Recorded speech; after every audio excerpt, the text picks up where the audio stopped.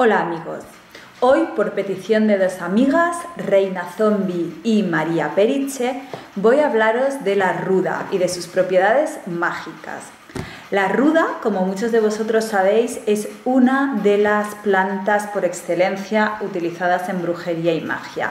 Se utiliza desde, bueno, desde tiempos inmemorables. Desde luego hay recetas que no tienen ni fecha que en las que ya se utilizaba la ruda. Yo tengo conocimiento de que ya los egipcios utilizaban la ruda, de que en la Edad Media se utilizaba muchísimo la ruda. Bueno, la ruda ha tenido muchas... Em, utilidades, vamos a decir así, muchos usos, tanto en la magia como fuera de ella. Fuera de ella se utilizaba mucho en medicina para la protección, porque la ruda es como muy fuerte, tiene unas propiedades amargas muy fuertes y repele los virus, repele las bacterias. Eh, bueno, en la Edad Media, por ejemplo, anecdóticamente os cuento que en la Edad Media se ponían los tribunales, se colgaban manojos de ruda para evitar que los virus y las bacterias que traían los presos a los tribunales se contagiaran a los abogados, a los jueces, a la gente bien, ¿no? También en la Edad Media la gente apoderada, la gente que tenía dinero, siempre salía con unas hojas de ruda en la mano. ¿Para qué? Para evitar que se le pegaran los piojos de la gente de la calle. Es decir, la ruda tiene desde siempre ese poder repelente de las cosas malas. Y con esa idea se ha utilizado en la magia. Se ha utilizado para repeler las cosas malas, para desechar, para despojarnos de las cosas malas. Por eso la ruda se utiliza muchísimo en los baños de despojo, muchísimo, y en los baños de limpieza, porque ayuda a echar fuera de nuestra vida toda la negatividad, todo lo malo, las malas energías.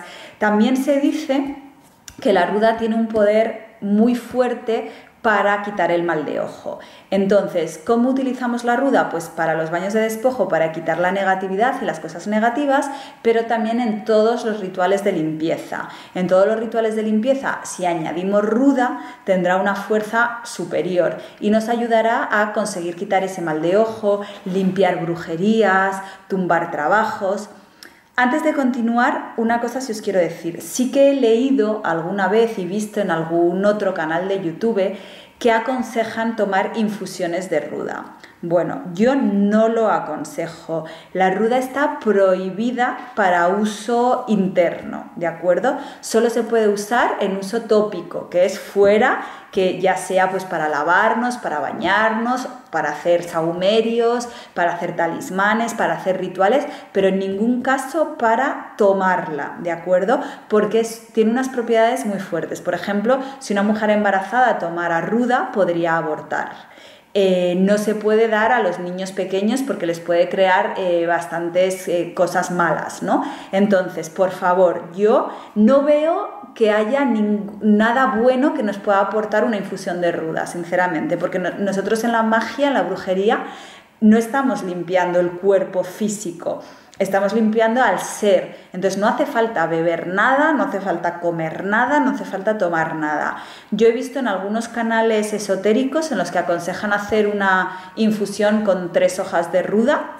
Os lo repito, la ruda está prohibida para uso eh, no sé cómo se llama, alimenticio, vamos a llamarlo así. Entonces, por favor, no toméis ruda. La ruda para afuera, no para adentro. Entonces, volviendo a lo nuestro, la ruda se utiliza sobre todo, sobre todo en eh, baños de despojo y limpiezas. Hay unos jabones que los podéis comprar en las tiendas esotéricas que son los jabones de ruda. En este caso, bueno, pues los utilizaríais simplemente eh, para bañaros normal, como si fuera un jabón, el jabón que utilizáis habitualmente. También podéis hacer vosotros vuestro propio jabón de ruda.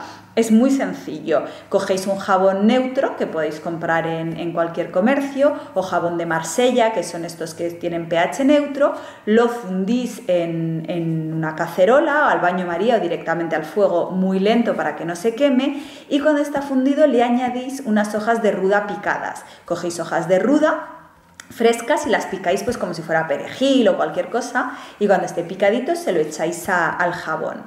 Luego ese jabón todavía líquido lo vais a echar en un molde y lo dejáis que enfríe. Yo siempre los jabones me gusta meterlos al congelador por lo menos un día o dos para que cojan forma.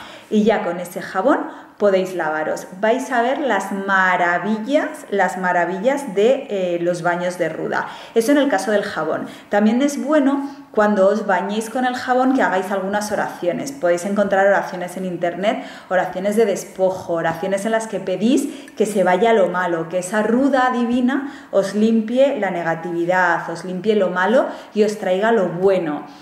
¿Cuándo daros estos baños? Bueno, entonces ese era el jabón. Ahora os explico los baños, baños de despojo.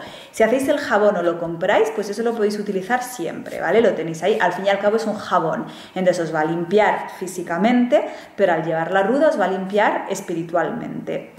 Si en lugar de jabón lo que queréis es daros baños, lo que podéis hacer, hay muchas recetas de baños con ruda, eh, es echar la ruda directamente en el agua de la bañera, por ejemplo, os metéis y os quedáis en la bañera hasta que el agua se temple o se enfríe.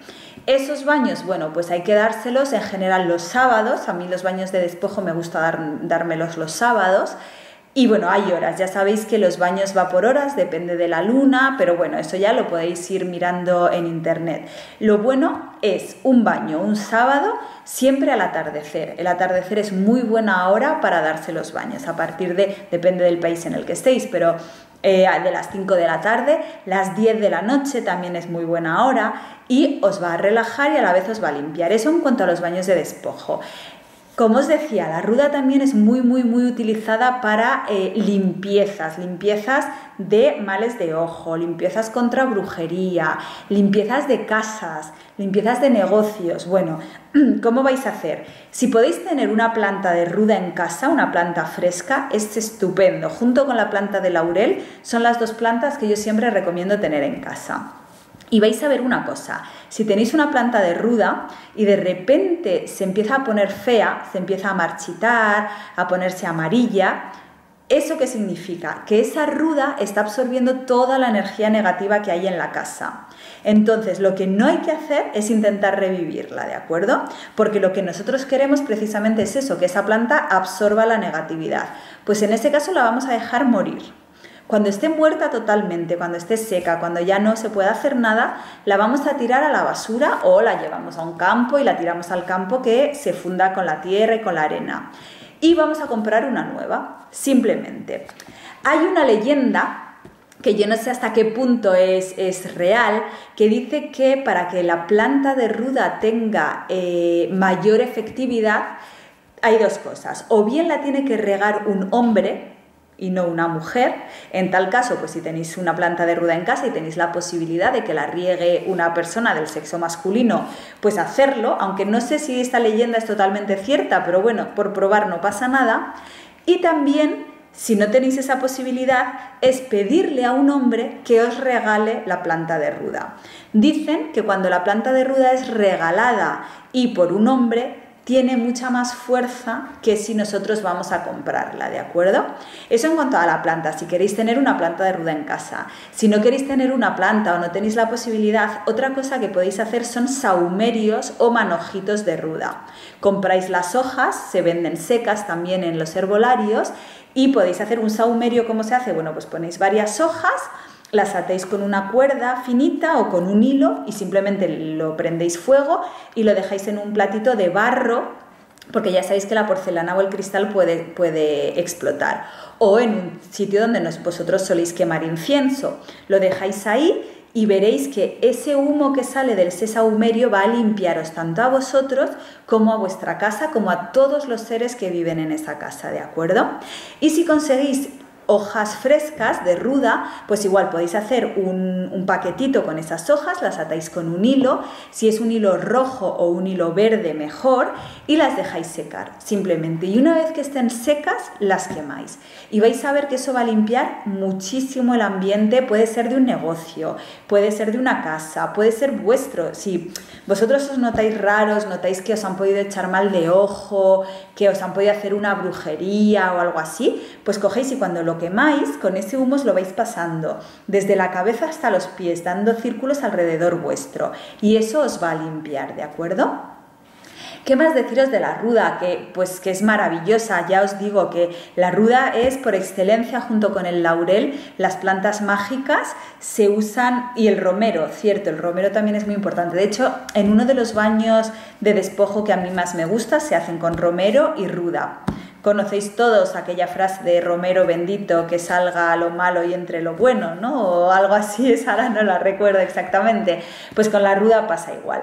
La, la unión Romero, ruda y laurel es, vamos, es una triada mágica. Yo siempre, siempre, siempre recomiendo tener en casa. También se puede, la ruda no se utiliza para la alimentación, ¿vale? Pero el romero y el laurel sí. Entonces, echándolo en los platos también nos da esa energía que muchas veces nos falta eh, no solo hay que hacer cosas mágicas, se pueden hacer cosas cotidianas que son mágicas si no nos damos cuenta. Hablando de eso, cuando sintáis un poco un poco decaídos, un poco tristes, como que por ejemplo muchas veces venís a mí diciendo pues mi pareja se ha ido, no me siento bien, en ese momento son los buenos momentos de darse baños de, descarga, ¿no? Baños de descarga y despojo, porque muchas veces lo que nos hace sentirnos así es esa negatividad que nosotros mismos nos creamos, ni siquiera es que nos han echado un mal de ojo. Muchas veces me decís, María, creo que me han echado mal de ojo. Yo os miro y no es así. Vosotros mismos, con vuestra negatividad, con vuestros pensamientos, con vuestra tristeza, os estáis cargando. Entonces hay que descargarse de todo eso. Pues para eso vais a hacer los baños de ruda. Ruda, romero y laurel, ¿vale? Lo podéis hacer como os he explicado antes, llenáis la bañera con agua caliente y lo echáis directamente y os sumergís hasta que el agua se temple o se enfríe. Y cómo daros los baños lo tenéis en otro vídeo, ¿de acuerdo? Y qué hacer después del baño. O si no, lo que podéis hacer es cocer un poquito de agua con la ruda, el romero y el laurel, unos 15 minutos, y ese agua si no queréis echar la ruda, las hierbas y tal, la filtráis y la echáis en el agua de la bañera. Y la misma operación, os sumergís hasta que se temple. Hacedlo porque ya veréis que os va a dar muchísimo vigor, os va a dar energía, os va a dar positividad, os va a quitar esa carga negativa y os va a limpiar muchísimo. Si tenéis cualquier cosa, eh, pues no sé, alguna brujería, no estamos hablando de brujerías fuertes, ¿vale? Las brujerías fuertes se quitan de otra manera. Estamos hablando pues sobre todo de mal de ojo, de alguna brujería casera que alguien nos ha echado.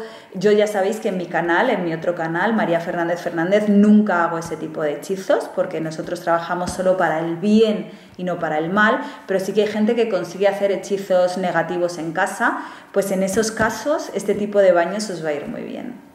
Bueno amigos, como ya sabéis, este canal es un canal interactivo, entonces me encantaría que me dijeseis qué opináis de este vídeo y sobre todo de qué queréis que hable en mi próximo vídeo. Ya tengo una lista de, peticiones que me habéis hecho, no os olvido, voy a ir haciéndola poco a poco, pero no dudéis en dejarme hablarme de vuestras experiencias con la ruda si la habéis utilizado, si vosotros conocéis otras maneras de utilizar la ruda, porque yo creo saber mucho, pero siempre sigo aprendiendo.